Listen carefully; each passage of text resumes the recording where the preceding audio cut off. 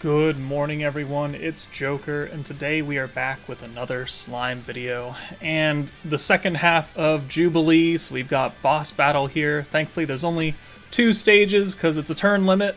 However, it is a turn limit, and it is Earth, and it is wonky as crap. So, before we go into the teams and the runs, I do have a bit of information to go over with you regarding this stage. So if we go into the information and look at what they do, what these units individually do, they are weak to magic because they want you to use the new Earth meta, right? And they're all magic damage. They increase their own crit rate until the end of battle by 100%, so they're pretty much always going to crit you.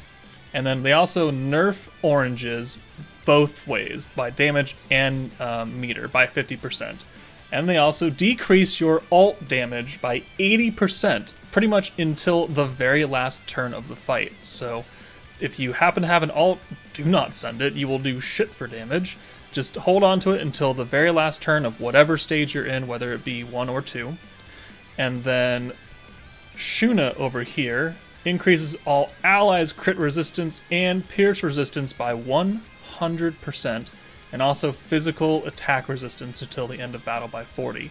So what this means is that you don't want to crit and you don't want to pierce, and so you're not bringing the light team, you're not bringing the hero, you're not bringing Fire Milim, and you're also praying to God you don't get a natural crit or natural pierce because you will literally do one damage. One. Not a hundred, you will do one damage, even on a 200% orb. If you happen to pierce with that orb, you're going to do one damage. So there will be times when you're playing and you're like, why didn't my ult hit for anything? Instead of doing 60,000 damage, it did 400 damage. It's because you pierced. It's or it's because you crit, or it's because you did both, and you, and then your 60k ult did one damage. So please keep that in mind. Now, um, I don't think anything else changes between 1 and 2, just besides them being more difficult. Uh, okay, they do increase their attack and their alt gauge, so they do have slightly different effects. Uh, it's just piling on top of what they had.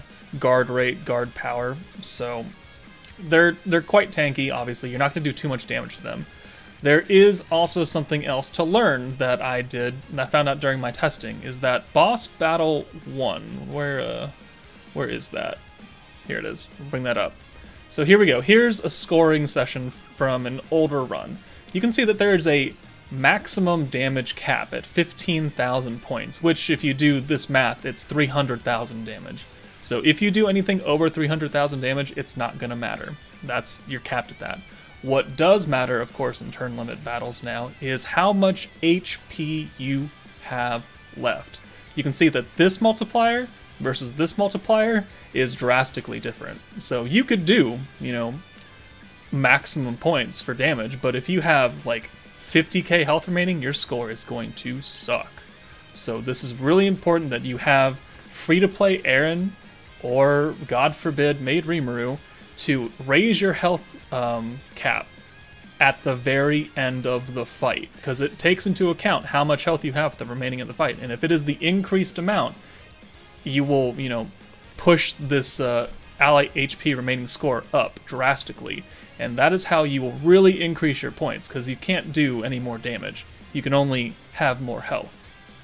So that is one very important thing to keep in mind. Damage cap and more HP. And if you needed another signal of proof for damage of shit versus HP, let me pull over these two examples right here, and we can take a look at it. So, uh, just maximize this. So here we have 95,000 score. This is my currently my highest score on Boss Battle 2. We did 418,000 damage, and we got 20.9 out of it. We also had 108,000 and a half remaining HP with 54.2. So if we take a look at this versus this other run over here, we did 446, so we did more damage. We got a little bit higher score, but we had significantly less health for 45,000 health. So 45,000 points, 54,000 points for having 108 versus 91. That is a more significant jump than doing what like 30k extra damage and getting 2,000 points out of it. Not even that. So there is your proof that having more HP at the end of the fight is important. So, with that information said, let us now jump into all of our different runs.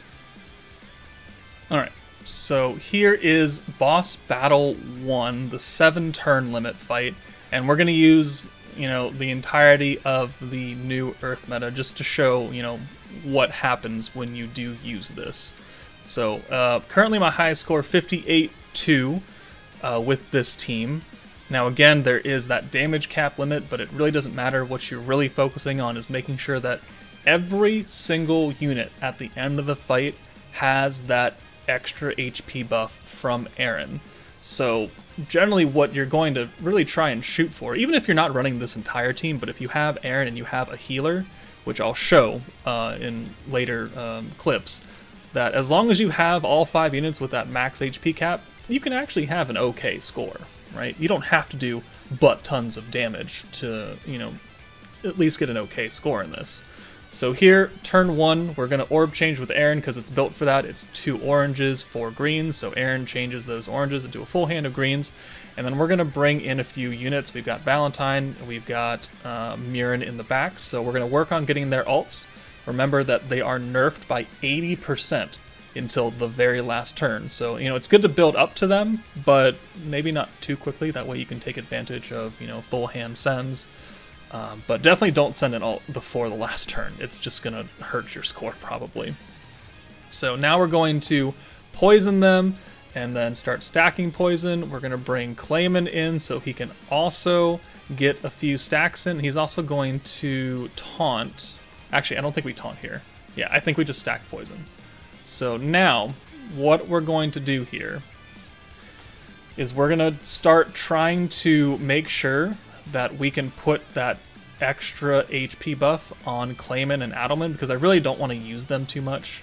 They don't really do much up front. You know, they do have the the taunt and the poison, which is cool, and it's fairly not great. We get a super counter though for 10,000 damage, which is great. But again, we're taking like one damage, right? The stage does not hurt you. So what's important is that you get that HP buff on those two units, and then get them in the back and never see them again for the rest of the fight. That way you can use Benny Benimaru, reset that skill, put the health buff uh, from Murin on your front three, being these three units, Aaron, Valentine, Murin, and that way at the end of the fight you have Adalman and Clayman in the back with the HP buff and full health because they took no damage.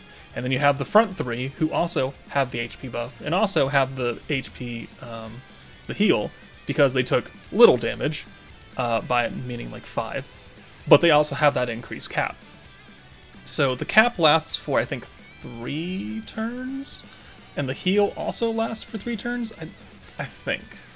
So here we've got four turns left, we've got the heal, we've got the increased HP, cool, everything is good. So now we're gonna get Murin's alt here. We've got Valentine's alt because we used her skill to uh, take away um, Shuna's alt, which gave her alt, which is good. It's what we need. So really, the most important thing is you get the two single targets. It's fine. You can see that they have the attack nerf on them though. So now we're gonna take them out, and then we're going to swap in Adalman and Clayman for the two alts, and we're just gonna save those for another two turns until it's we're ready to nuke. So they're gonna come in. Now we're gonna use Benimaru. We're gonna reset some skills here, and then what I'm gonna do is I'm going to poison again, just for that little bit extra damage, and then we'll send these greens and we'll get a decent amount of points back. Eventually. Because I'm thinking, do I want to send all the Adalmans, or do I send the Claymans? We're going to send the, Adel- the Adalmans just to get them out of there. And, eh, eh, not, it's not terribly great, but oh well. We do have counters up, so those are doing damage back. If you have Golem, that can work. They're not guaranteed, but they can do additional damage for you. Alright, so here, we need some points. Right? Yes. Oh, I didn't get the uh, the health buff on these two. Hmm. Okay, well, I could increase my score more then. I have the health buff on the front three, or I will, because I'll have enough points for it. So, let's do... Hmm? What are we going to do here? So obviously this is the last turn. So now our alts are not nerfed. So you can see that we no longer have that nerf symbol on the alt. So we're going to bring Valentine in and Mirren in for Clayman. Just making sure of a few things. Valentine and Mirren still have the HP buff and the heal. So I guess we're just going to run with that. So we're going to add extra poison, and then we're going to uh, use the stat swap and then the magic buff. So now we're just going to nuke here. So ideally, this run was not perfect, right? I didn't have the HP buff on three of the units, which could have increased my score quite significantly, probably into like the 59,000 range, um, had I played it a little smarter and paid more attention. But, you know, this team is not very self sufficient in greens. You have one orb changer, and Benimaru does not change, but we still got, so far, my highest score right here. So we did 292,000, almost damage cap, just a little bit shy, but we had 119,000 health remaining for 23.8. So, and that is much more significant than getting that extra 400 points of damage uh, for hitting that damage cap. So there's boss one. Not the perfect run, but it is a good example of what can and cannot happen during it. So let's move on to the same team for boss two now. Alright, so shout out to one of my Discord helpers, uh, Negative Edge. He recommended I use this team in case you don't have Clayman or Adalman. Uh, you're not actually using Aaron either. You're using Maid, Maid goddamn Rimuru. You know, my most favoritist unit in the game. But since his skill is technically a better version of Aaron's, it does work on this team very well because Aaron, I think, is a 20% HP increase. Uh, let's check that. Yeah, 20%, and Maid Rimuru is a 30% while also giving defense. So you'll take less damage, you'll have a higher cap of health that you can then heal back. We've got Mirren and we've got Benimaru here, so it is, you know, some of the Earth 2.0 meta, arguably the two best units in it. Um, Treyni is also here because for instant heal, Mirren has the uh, over time heal. The hero, um, you know what? I'm not really sure why she's here. I use her rewind, but I don't ever use her for anything else. Um, so I'm still kind of in a mystery about that. But I got a run recorded, and it's only about a thousand points less than my current um, best run. So it obviously works. So let's go ahead and throw that up on screen right here. Um, but I mean, the, the idea is still the same. You want to have Maid Rimuru's buff on all five units at the end of the fight with as close to maximum HP as possible. So we're going to show this off in Boss Battle 2, so we've got 10 turns to play around with. And since we don't have Aaron, we don't really have a good turn 1 opening, so I'm just going to send the two oranges and pray that we can get a good maybe one or two greens after this, which we get one. So we have a five hand of greens, which is not terrible. That should get us the protection gauge. Uh, but since I have no idea what to use with the hero, and I haven't had time to ask him, I'm just going to use uh, the rewind here. Is that the best idea? Probably not, but it it works out, I guess. So we're going to rewind here. We get extra protection gauge off those greens, which guarantees that we're going to get the um, uh, protection trait for Benimaru. We've got the rewind kicking in, of which it is a very crappy hand. So a whole bunch of nerfed oranges is not great, but you know it is what it is. And so we've used her one good skill because we obviously can't crit um, this stage because they just they have that crit resistance for 100%, and even the hero lowering it by 30 still means you're going to do crap for damage if you use that skill. So I think she's here literally just for the rewind, and then that's it. So we're going to send these nerfed oranges, get them out of here. Maid Rimuru has type disadvantage, so the less that he's on screen, the better, because he will just take enormous amounts of damage, especially if he gets hit with an alt. So, but we have used his skill, right? So we've increased the HP, we've increased the damage, so we're going to heal back what we've lost on two of three, well, technically three of the units. And then we're also going to swap, I think, him out. Uh, that way, you know, he just doesn't take any more damage than he needs to after we use the reset for the heal and the HP buff. So that's kind of the important thing right there is making sure that we can always have that at the lowest cost possible and we do get him out of there and then we start working on sending some blues trying to get Benimaru back online since some of our units don't have um, counterattacks now. The hero does, but she's type neutral, so she's not going to do the most damage. She's also taking a fair bit of damage because they're always critting you. So, you know, keeping people at full health without type disadvantage, without, you know, extra defense or whatever is difficult. So here, we don't really have too much to use. We're going to swap in Valentine for the hero, and then we're going to, I believe, just send the Treyni orbs. I think so. Or do we send the greens? Looks like we send the greens for points, which is probably better because we need to heal a little bit. We definitely need to heal Valentine. Treyni has counterattack, but no one else does, and they only hit her twice, so that's cool. Alright, so we got 68 points here. We're going to heal, and then we're going to continuous heal. That way we can get Valentine back up to hopefully full HP. Her HP buff is about to run out, which means that we do have to reapply it, but we have six more turns, and she takes all of those attacks, plus the alt, which is not helpful to keeping her at full HP, but the heal back comes in, and she's essentially topped off now. So now we just need to worry about keeping the HP buff on extra units. We have an entire hand of blues, which works out very well, because now we have double protection gauge, which means that we can reset skills twice in the same turn if necessary. Not that we really need to. Uh, so, the one thing about this team is that I'm stu- I'm so worried about making sure that people are topped up and they have the HP buff that I'm not really paying attention to how many ending points we have because at this end of this fight, I don't have enough to use the uh, the Murin stat swap for extra damage on our nukers, and I only have two ults either. So I'm I'm really just focusing on keeping everyone healed and at maximum HP more than anything else. And I mean, I guess it worked because we were only down by a thousand points on my score. So things can be said. If you know, I get more greens or you know, management was a better thing, then maybe I could have had three alts and the stat swap and HP. But you know, that's asking quite a bit, and it's micromanaging this team to hell essentially making sure that everything falls into place, which I know is what, you know, Jubilees are normally about, is making sure every little thing happens the way you want it to, and then resetting forever and ever and ever until it does not. But that's just not what I want to do, especially not with this team. We get some sweet super counters in here, which definitely help out with our damage, but as you can see, we haven't done jack, right? 124, 125,000, that's it's not great.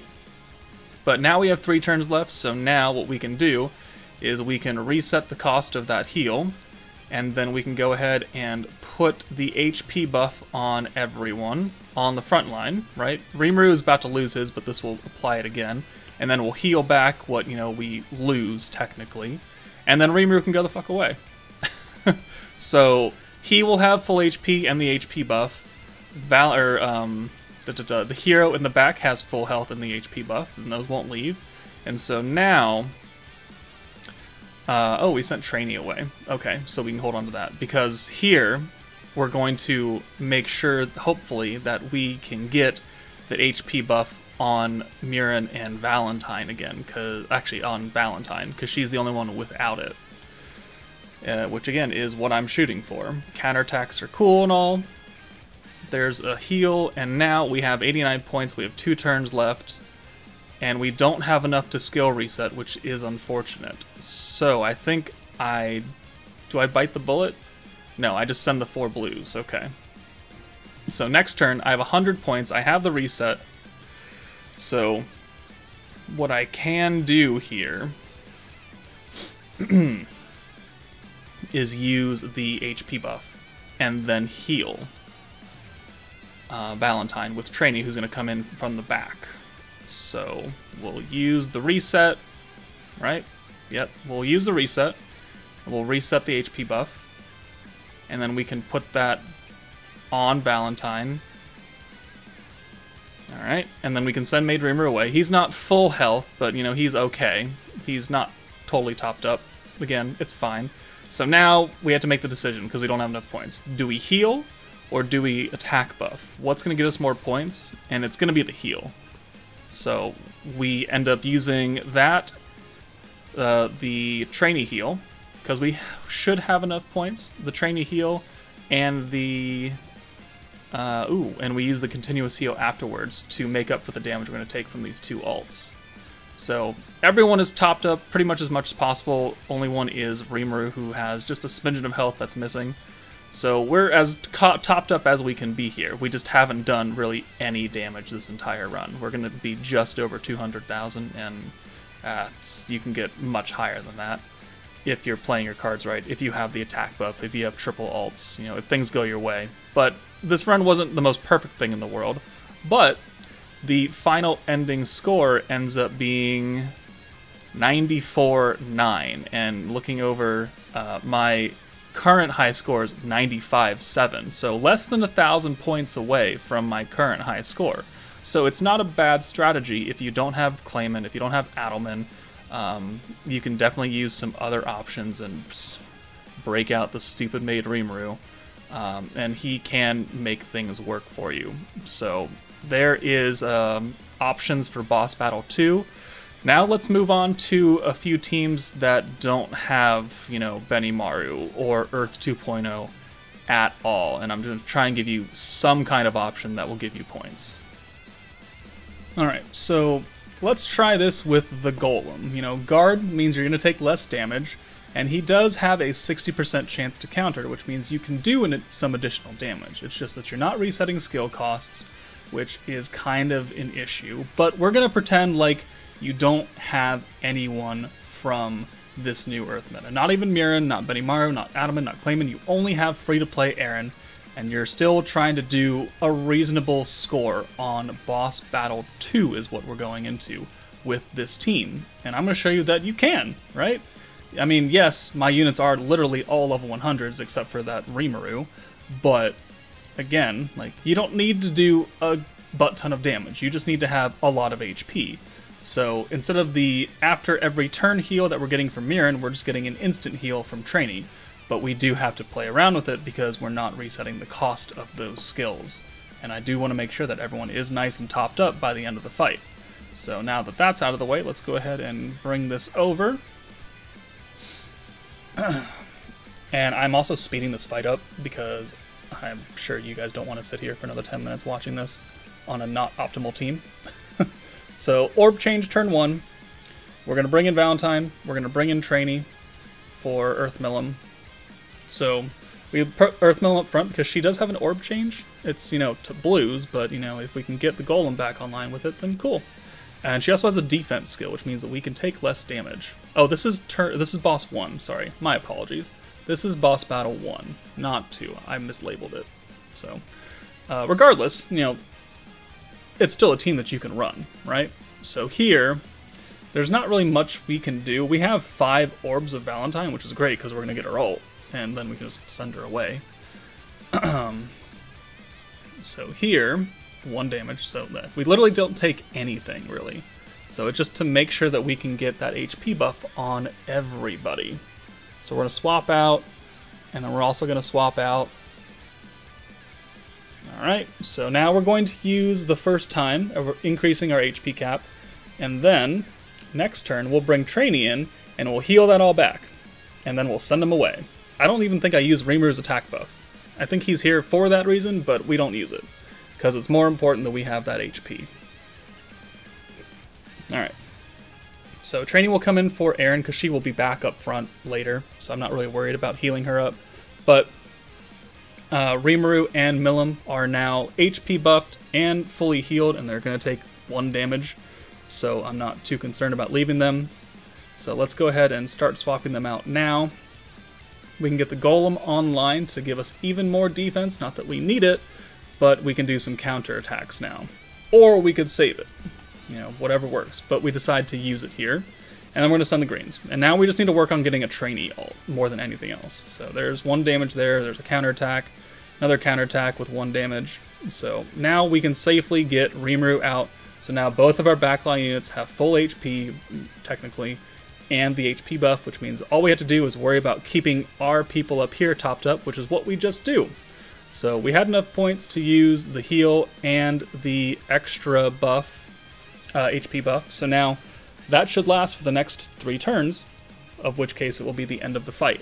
And now we have a nice full hand of Treyni, and we have our ult. I believe.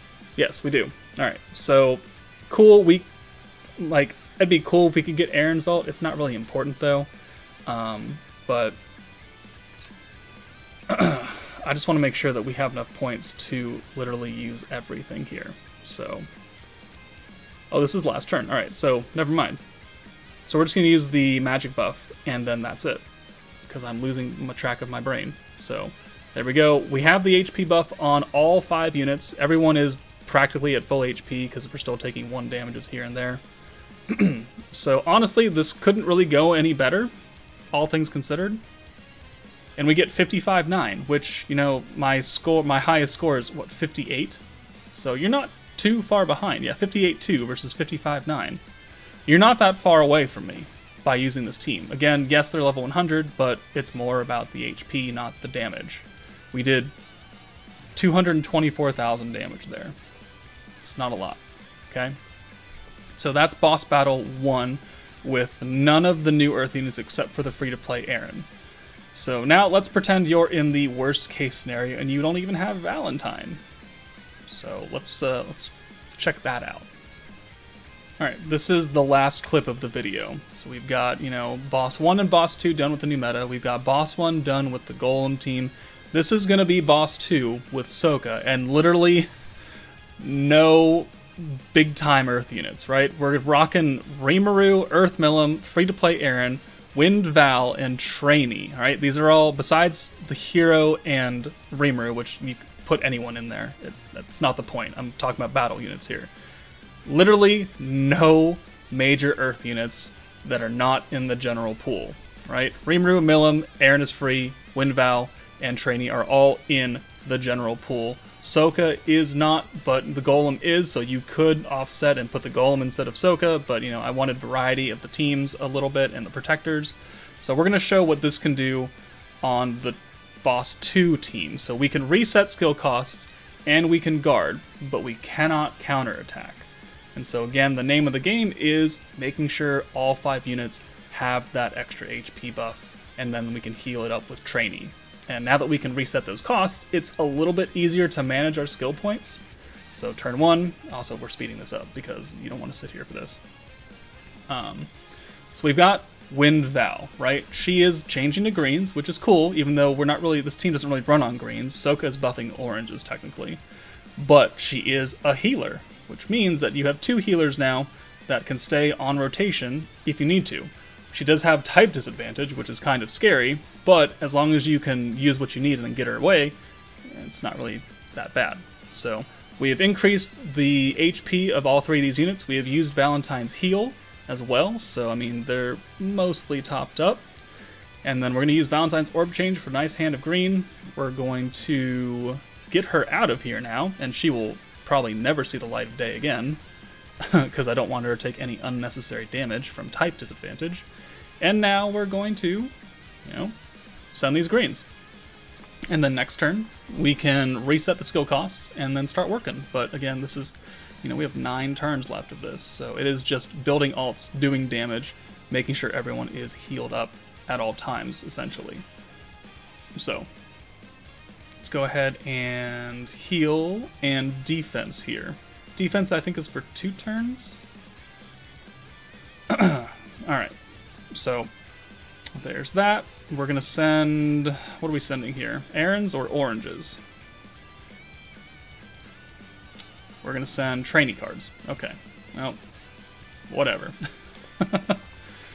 okay. So we don't need to use the buff yet. We still have quite a bit of game left before we need to worry about making sure these people have um, max HP. So Aaron's about to lose that buff, which she just did, so now she's back into the mortal realm of HPs. Uh, we do have an alt for her, which I guess is cool, but uh, we're not going to use it because it's nerfed still, right? So we're just going to send these five oranges, because, you know, this we're, we'll get something out of it, because the oranges are buffed a little bit, so we're kind of offsetting the nerf, but not really. But it is enough to, you know, get us a little bit of stuff back. So here, we're going to use the HP buff, and then we're going to heal again, and we're just make sure that we can continue that. So we reset the skill cost, we're guarding now. So then on turn, like, what, 7 or 8, we're ready to do that um, HP buff again, and then the final turn we're ready to heal whatever damage we've taken to make sure that we are close to full as possible. And I am not worried at all about damage here. Like, we're to do actual crap damage. But it's the HP, like I've been saying, that's important. So, we're just to keep going as we are. So we have two turns left now, and we're just going to work on getting as many points as possible.